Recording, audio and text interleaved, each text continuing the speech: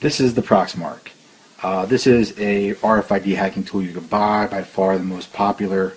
Um, we have it's plugged into my laptop here um, via USB, and then via another cable. There's the antenna, and we see that right now we are running the Proxmark, and we are ha we have it in listening mode. It's, it's trying to read right now.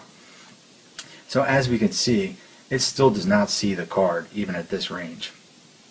So I'll keep going down, keep going down, getting closer to the antenna. Closer still. Until there we go.